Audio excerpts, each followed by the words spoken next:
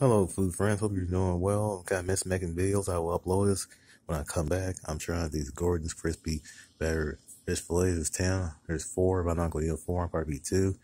They're I cook these in the pressure cooker. It's kind of greasy. That's what they look like. Oh, I can hold it. All right, let's try it out. Hope it's good.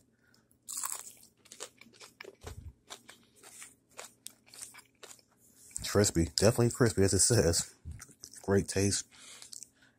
Great with ketchup or mustard or tartar sauce.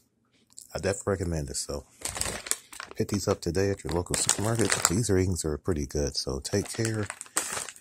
Peace.